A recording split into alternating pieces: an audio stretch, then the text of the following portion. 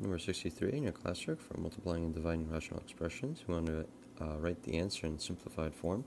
So here we have a bunch of terms that uh, are multiplied together and we're going to try to uh, factor as much as we can and then cancel as many terms as we can.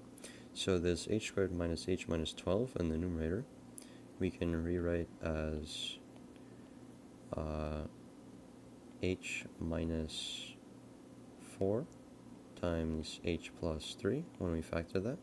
So we want uh, two numbers multiply negative 12, add to negative 1. And then we also have uh, g squared minus 3g minus 10. So that factored is g minus 5 times g plus 2.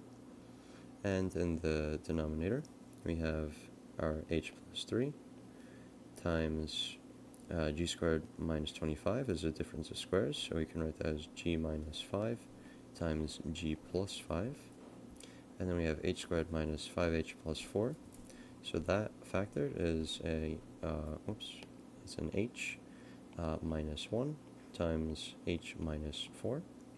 And now we're going to go ahead and cancel what we can. So we have a g plus 5, g plus 5. We have a h minus 4, h minus 4.